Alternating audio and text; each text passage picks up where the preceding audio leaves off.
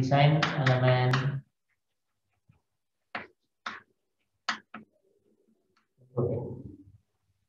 Nah, dengan begitu banyaknya kategori yang perlu kita cek, jadi mirip dengan yang tarik sebelumnya, eh, kita perlu satu eh, parameter dulu untuk memulai mendesainnya, memulai memilih penampang. Dan itu biasanya menggunakan momen plastis. Jadi kalau MN-nya sama dengan momen plastis, yang nilainya adalah Z dikalikan F dan MU itu harus lebih kecil atau sama dengan VMM untuk LRFD maka kalau kita mau mendesain artinya V kali Z itu harus lebih besar atau sama dengan input jadi Z-nya harus lebih besar atau sama dengan per VFY di mana dalam hal ini V-nya 0,9 ya, ini kegagalan plastis saja. Jadi FU per 0,9 FU. Jadi ini untuk desain, ini yang kita gunakan untuk memilih penampang.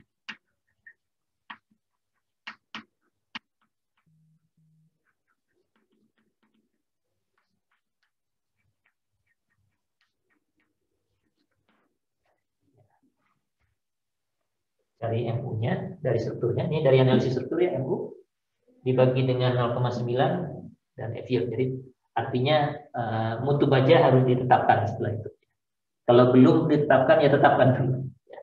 Agar variabelnya tidak terlalu banyak. Mau pakai yang 50 atau di bawah ini kalau untuk balok itu ada banyak variasinya. Ada yang 46, ada yang macam-macam sampai 36. Uh, eh, jadi demikian. Set dipilih, lalu kalau Z sudah dipilih, uh, analis, sisanya tinggal analisis karena kita sudah punya nih uh, baloknya ya, penampangnya.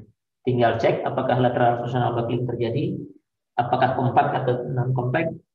Kalau non kompak cek lagi lokal bucklingnya tergantung dari penampang yang kita pilih, lalu geser dan defleksi. Semuanya tinggal cek. Jadi prosesnya kalau dari ceritanya sih sederhana dulu pilih penampang berdasarkan momen plastisnya, set, nah, menulis penampang plastisnya. Nah, dari sini baru cek apakah compact atau non compact atau malah kemungkinannya kalau build up slender gitu ya. Tapi kalau dari tabel slender nggak mungkin. Ya. Kalau milihnya dari tabel yang ini nggak akan mungkin. Kalau bikin sendiri baru bisa. Nah, kemudian eh, apakah jadi perlu dicek momen MN akibat lokal buckling. Dari sini bisa dibuka, perlu cari nggak MN yang lain. Terus eh, dari LB-nya, apakah ada MN yang lain nggak? Karena lateral personal. Dan ini kalau MN-nya tinggal bandingkan dengan MU. Jadi eh, sisanya tinggal memeriksa persis sama seperti yang tadi, termasuk 3V-nya. Ya. Geser. Apakah V-nya sudah seperti sama VPN? Dan defleksi apakah delta yang terjadi itu kecil atau sama dengan delta izin ya. Jadi eh, yang perlu diperhatikan dalam pemilihannya hanya yang ini untuk LRFD. Nah, untuk ASD formula ini akan berbentuk Z lebih besar atau sama dengan omega kali MA per F Bentuknya demikian. Omeganya sendiri 1,67. Jadi kalau mau dimiripkan ke sini, pindah ke bawah jadi 0,6. MA per 0,6 FU. Ini untuk Oke. Dan ini untuk.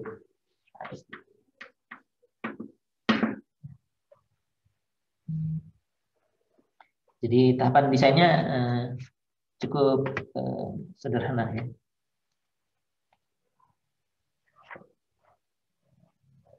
Nah, tapi memilihnya bagaimana? Nanti kita lihat dengan contoh kalau memilih. Karena kita punya tabel yang isinya ratusan, ribuan mungkin ya profil bagaimana memilih.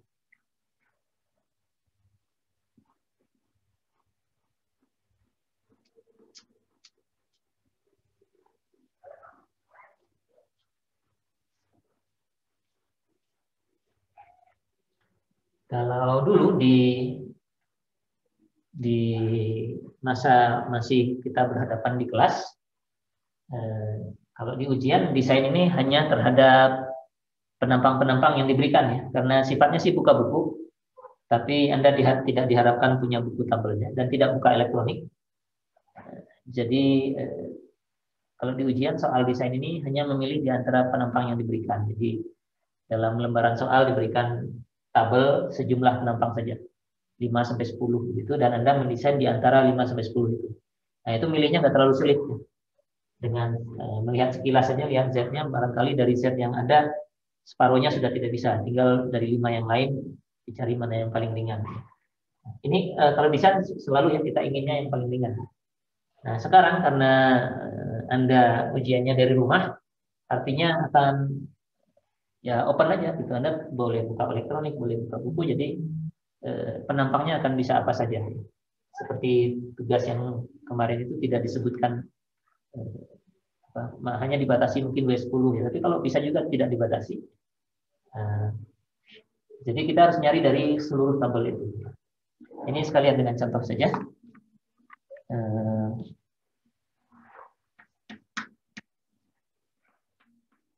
bebannya merata lagi.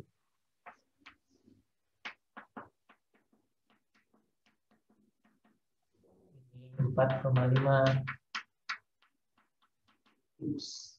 refit literatur.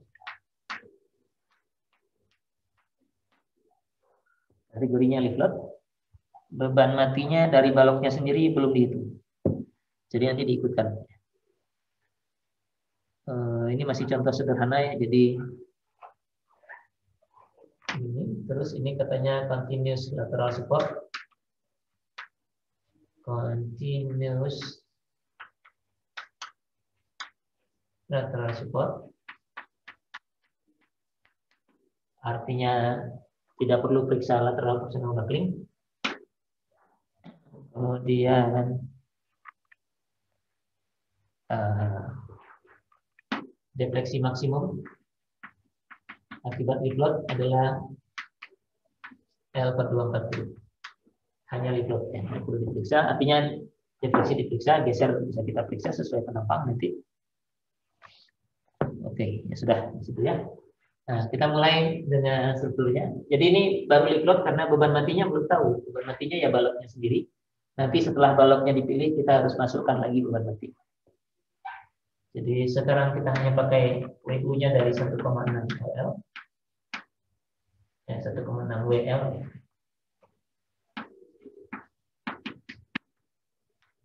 Koma enam kali empat koma lima hanya tujuh koma dua. Jadi WU-nya delapan yaitu L kuadrat. Oh. Ya udah panjangnya belum ya. Panjangnya 30 kaki. Panjangnya 30 kaki jadi kita masukkan aja nilainya. 8 kali 7,2 kali 30 kuadrat. Angkanya 810.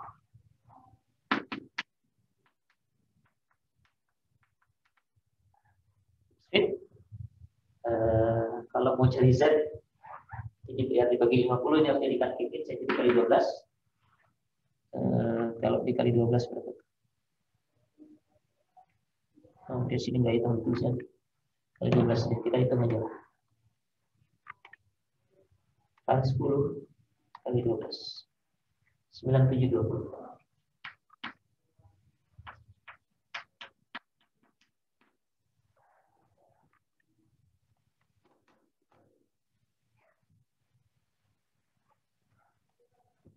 Jadi uh, udah, nah kita mulai memilih penampangnya. Ini LRT, jadi pakai yang ini. MU dibagi dengan free ideal, 0,9. Jadi penampangnya harus memenuhi uh, lebih besar daripada MU dibagi 0,9 ideal. Dan ini nilainya 9720 dibagi 0,9 kali 50 Ini angkanya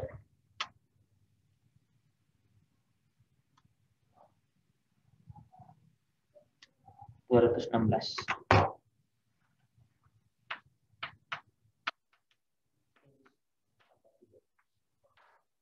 Nah, kalau Anda melihat tabel, kita lihat tabel.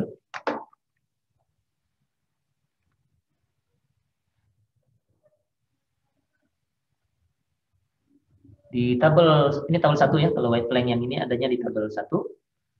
Eh, set itu ada di sini di kolom keberapa ini? Ke 6, ke 7 di halaman berikutnya ya. Jadi penampangnya aja ada di sebelah sana. Dan kalau Anda perhatikan kalau kita perlu 216 di tempat yang sedang terbuka ini ini ada yang 234, ada yang 212 nih, ada ada di antara dua ini. Ini W14 tadi ya. Jadi bisa W14 132 misalnya sini. Sementara W14 kali 120 nggak bisa. Nah, tapi kan penampangnya bukan hanya itu ya. Nanti pas pindah ke W12 misalnya. Ini di bawahnya ada W12. Kalau kita lihat setnya, oh ini setnya kecil semua ya, ke atas lah.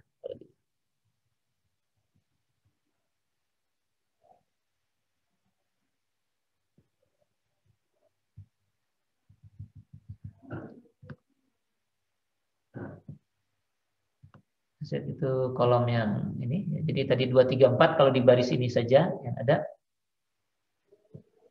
Dan ini W ini masih kembali ke W12. Ini W14 ya. 132 tadi ya.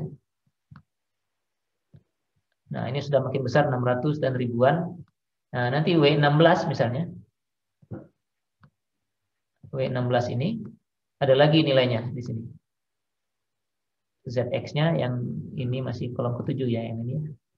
Nah, ini 230 ini misalnya. 16 kali 106 juga bisa. Kalau coba kita lihat dari yang dua ini saja dulu. Tadi W14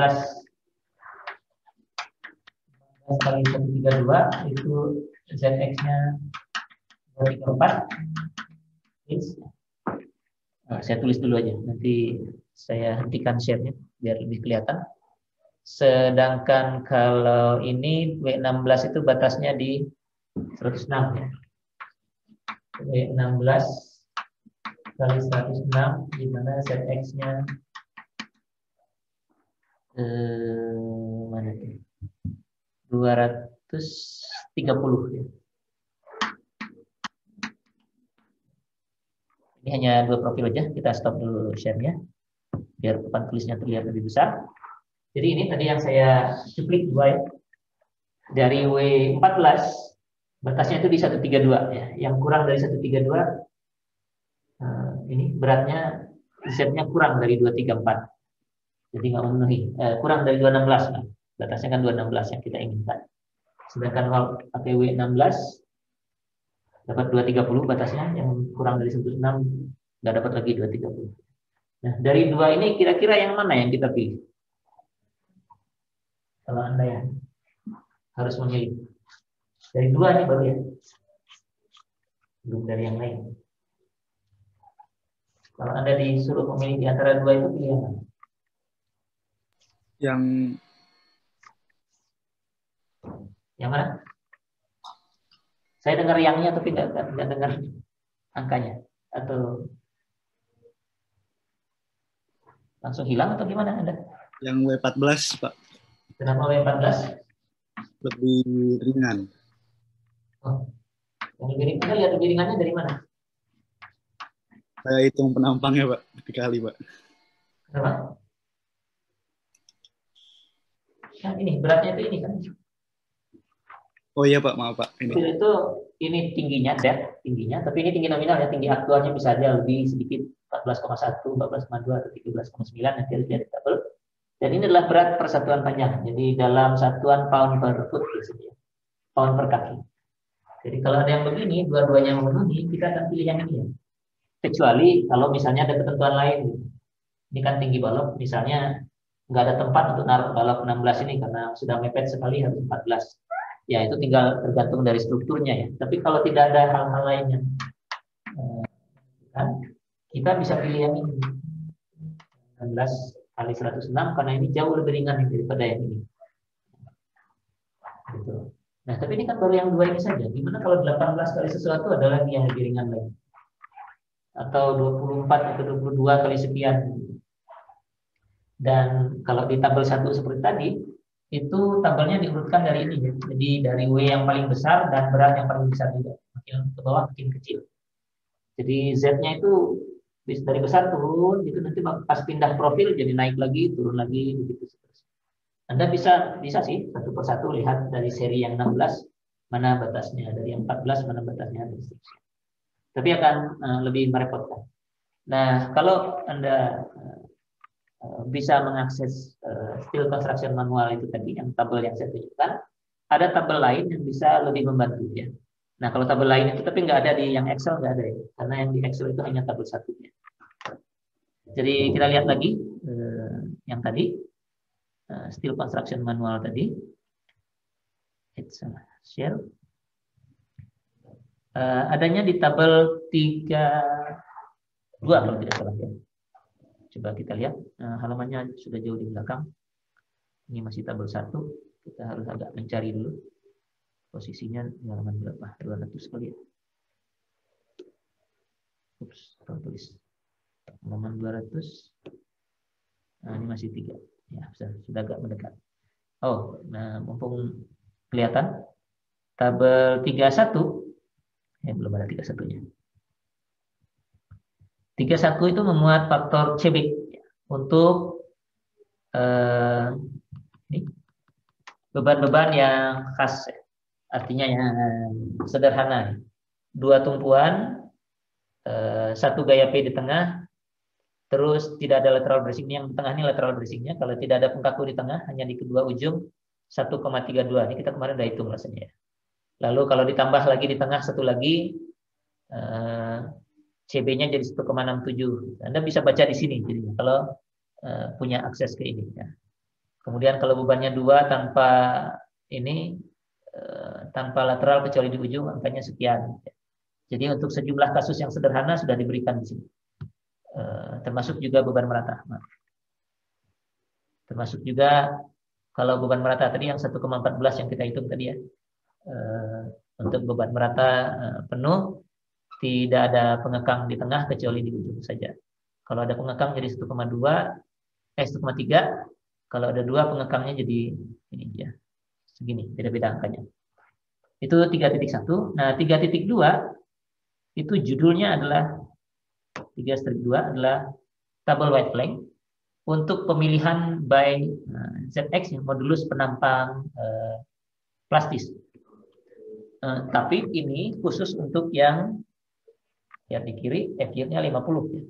Kalau nggak 50 nggak bisa pakai ini. Oke.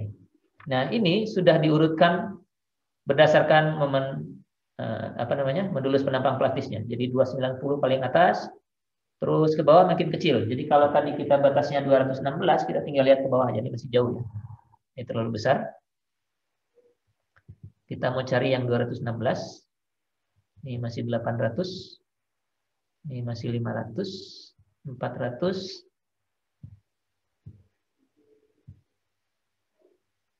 Nah, ini misalnya 224 itu misalnya. Ya, Ya, kita hentikan di sini. Kalau kita lihat ada yang eh, 224 ini Z-nya 224, di bawahnya ada yang 221, 214, 212 dan 211. Kita batasnya 216 yang kita inginkan, jadi tiga yang terbawah tidak bisa. Kita boleh pilih di antara dua yang atas itu. 24 kali 84 dan 21 kali 93. Pilih yang mana? Di antara dua itu. Ya, lihat aja angka yang di belakang tanda kalinya, yang lebih kecil mestinya ya. Jadi eh, pilih 24 kali 84. Ya, kita coba yang 24 kali 84. Nah, kalau Anda perhatikan lagi, ini sekarang eh, profilnya dikelompokkan, dikelompok-kelompokkan. Jadi Z-nya tetap menurun dari atas ke bawah makin kecil, 224, 221, 214, 212, 211 gitu misalnya. Dari sini kan tetap turun ke bawah nilainya. Tapi beratnya itu yang paling ringan itu yang paling atas. Ya. Jadi yang dicetak tebal itu itu adalah profil yang paling ringan di antara kelompoknya ya. Jadi Dari 5 pertama itu 24 kali 84 itu lebih ringan. Kemudian dari berapa nih? 6 berikutnya 24 kali 76 yang paling ringan. Jadi eh, kalau kalaupun perlunya kita tidak 224, perlunya katakan perlunya 200, eh kalau 200 bisa yang 76 ya. Misalnya perlunya 205 begitu ZX-nya ya. Kalau diperlukan 205, kita tetap akan memilih yang W24 kali 84 karena itu yang paling ringan. Yang Z-nya lebih dari 205. Kecuali kalau misalnya perlunya cuma 190, nah Anda bisa pilih 24 kali 76 karena yang ringan berikutnya ada di situ. Jadi eh, tabel 32 sangat eh, membantu dalam pemilihan berdasarkan modulus penampang plastis Z ini. Karena sudah diurutkan, Anda tinggal lihat aja batasnya di mana Kemudian cari profil yang dicetak tebal di dalam kelompoknya. Jadi kalau batasnya ada di sini, pilihnya 224. Kalau batasnya ada di situ, pilihnya ini. Yang 24 kali 76 ini. Kalau di bawahnya lagi bisa 24 kali 68 dan seterusnya. Dan eh, kalau Anda perhatikan ke sebelah kanan, sudah ada properti lain sebenarnya dari profil yang sama. Eh, ada momen plastis dibagi omega ini untuk ASD, ada V dikalikan momen plastis ini untuk MM ya. Jadi kita MN-nya bisa tinggal baca aja gitu. Walaupun sebenarnya kalau sudah punya penampang kita bisa hitung sendiri ya. Tapi kalau dari tabel ini bisa langsung didapatkan uh, nilainya. Jadi saya catat dulu biar tidak usah hitung lagi.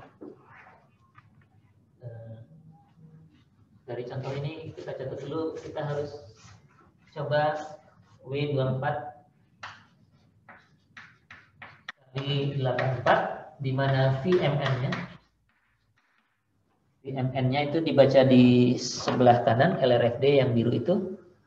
Nah, ini dia 840 ya. 840 uh, ini keep skins ya. Uh, keep fit ya. Keep fit. Terus ke sebelah kanannya nggak nggak perlu. Yang perlu lagi itu mungkin nanti LP dan LR yang ini ya. Nah, sekarang sih continuous support jadi nggak perlu. Tapi kalau diperlukan kita bisa cek di sini. Uh, kalau LB-nya misalnya 15 itu di tengah-tengah, kategorinya masuk jadi nanti lateral torsional buckling in elastic karena berada di antara 6,89 dan 20,3. Dan di sebelahnya lagi sekalian sudah ada V sudah ada uh, kapasitas gesernya juga ya. Jadi sekalian aja V PN-nya itu 340 gips.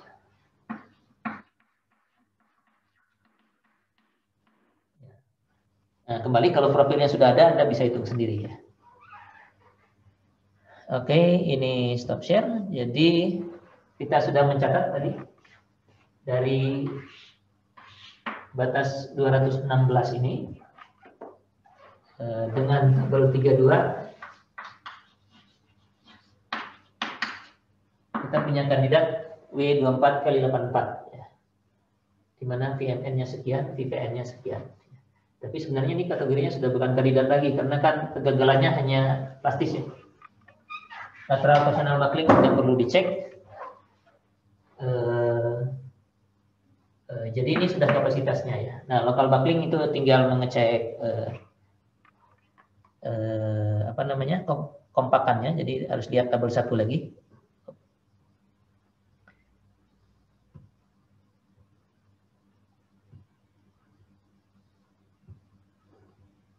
Oh, salah.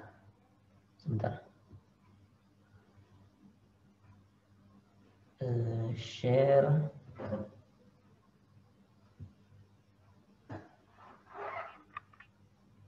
Construction manual yang ini. Kita lihat lagi tabel 1. W24 kali 84. Apakah dia ada catatan kakinya atau tidak?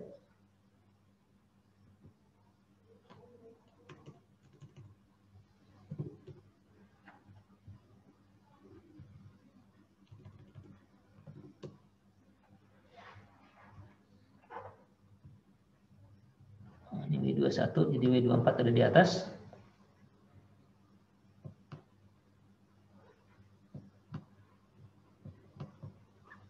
Ini 24 kali 84 tidak ada catatan F-nya ya. Catatannya cuma untuk C ya. C itu compression. Jadi untuk tekan kalau pakai 24 kali 84 dia eh, tidak kompak ya. Eh, nanti ditekan istilahnya bukan kompak lain lagi. Tapi untuk setidaknya untuk lentur 24 kali 84 aman. Jadi local buckling tidak perlu diperiksa dan kita selesai sampai di situ untuk lenturnya ya. Jadi PMN-nya 840 perlunya cuma 810 sudah oke okay. karena kan modulus penampangnya juga sudah kita buat lewat tinggal cek ini VPN-nya sekian VU-nya sendiri itu adalah eh, oh yang belum itu anu ya beban berat sendiri jadi dituntaskan dulu jadi ini ada sisa 30 dari MU ke PMN masih ada sisa dikit jadi berat sendiri harus kita periksa harusnya sih kelihatannya memenuhi jadi kalau 84 di sini, jadi WD-nya itu adalah 84 pound per. Ya. Jadi kalau biar sama jadi kips itu 0,084 kips.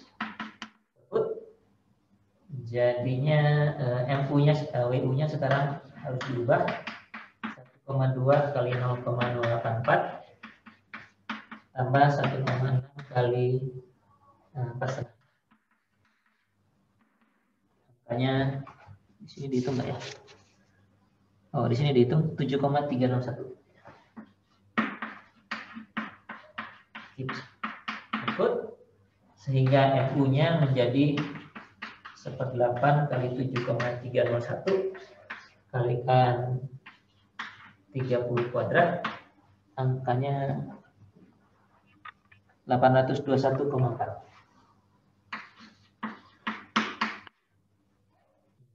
Terus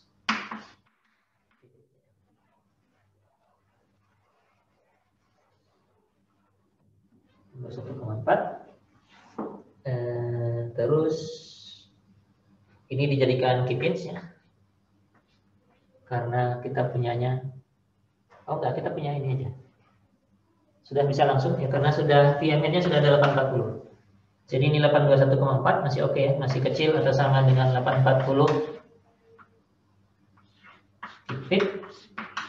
Jadi masih oke okay, ya. Masih memenuhi karena masih kurang dari batas maksimumnya. Baru kemudian cek geser.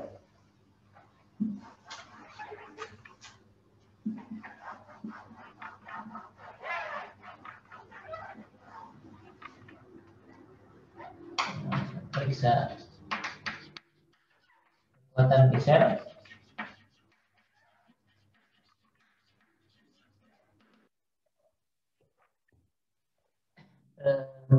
kekuatan gesernya dari PU itu adalah WUL per 2 WU-nya sudah dihitung dengan berat sendirinya 7,361 30 dibagi angkanya 110. IPN-nya 340 masih jauh ya. Jadi ini kecil sama 340. Jadi oke okay, ya. Gesernya oke. Okay. Defleksi defleksi hanya beban hidup jadi uh, delta load itu adalah 5 per 384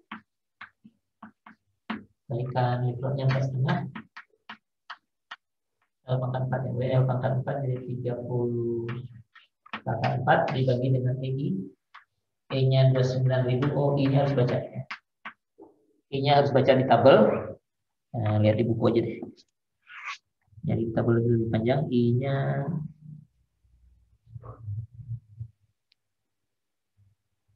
I-nya nggak dihitung di sini langsung angka aja. Kita lihat di tabel aja deh kalau gitu.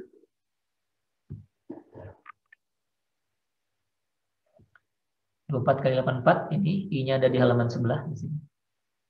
Jadi kita harus ke bawah dikit. 84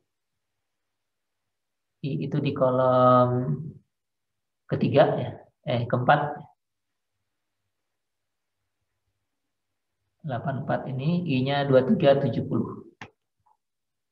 2370 yang itu.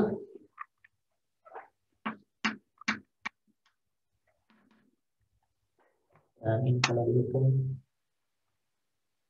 5 di 4 setengah kali 30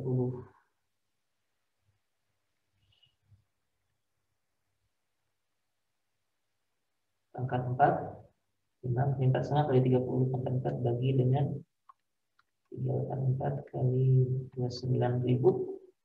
Oh satuannya enggak kompak ini ya. Ini inch ini per foot ini juga ya. ininya harus dibagi 12 eh, enggak 12 ya. Ini kan inch pangkat 4 ya. Harus dibagi 12 pangkat 4 hmm. ini dikali 12 semua yang lain dulu 29 ribunya juga KSI oh sebentar ini cancel dulu uh, stop share-nya. Jadi satuannya harus kita perhatikan ini empat setengah feet per foot. Kalau dijadikan per inch artinya harus dibagi 12 empat setengah dibagi 12 panjangnya 30 kaki jadi harus dikalikan 12 pangkat 4 ini 29.000 sudah inch, ini sudah inch 4. Baru baru benar ininya satuannya. Dan nanti defleksinya adalah inch.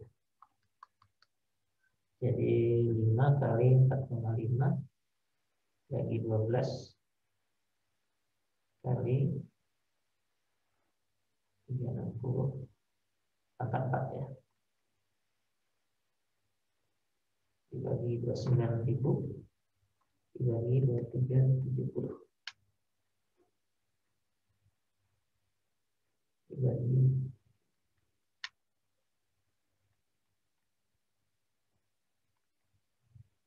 satu koma sembilan belas inch.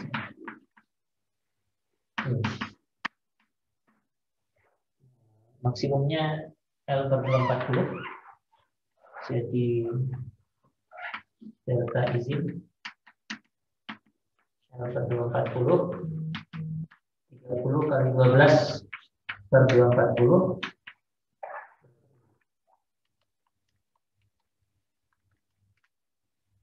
lima jadi masih oke okay ya. Jadi ini lebih kecil daripada data izin jadi cek gesernya sudah dicek memenuhi. Defleksinya juga eh, memenuhi Ya, ini kalau kasusnya uh, continuous lateral support ya. Kalau continuous lateral support.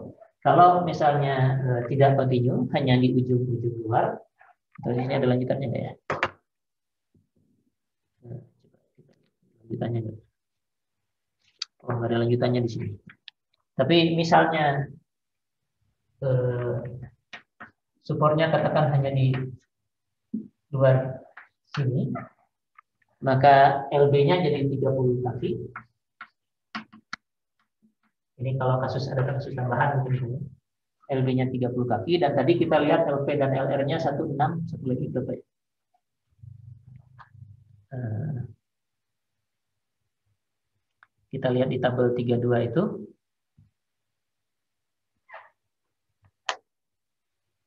tadi halaman berapa? 200 ya kalau tidak salah.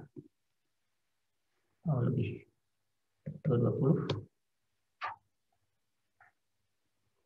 Oh, udah kelewat 33 malah ini ya, ke atas sedikit. Nah, ini Z, W24-nya tadi ini 6,89 eh, dan 20,3.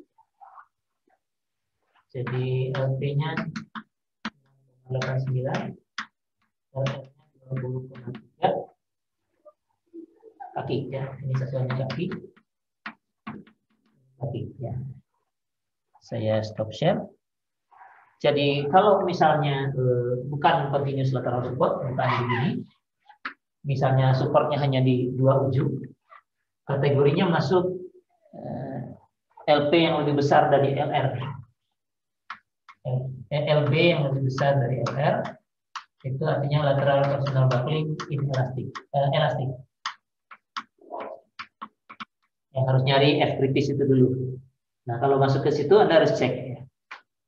Nah, kalau dicek eh, tidak memenuhi, nanti tinggal naik aja dari kelompok yang Z itu, naik ke atas ke kelompok berikutnya yang paling ringan yang dicetak tebal, mulai lagi.